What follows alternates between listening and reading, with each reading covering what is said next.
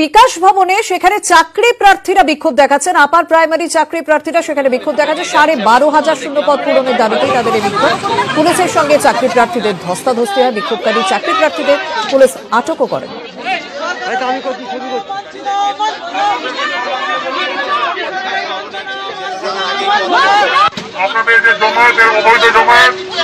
আপনাদের আমরা গ্রেপ্তার করছি। আপনারা গাড়িতে উঠে পড়ুন। আপনারা সম্মান।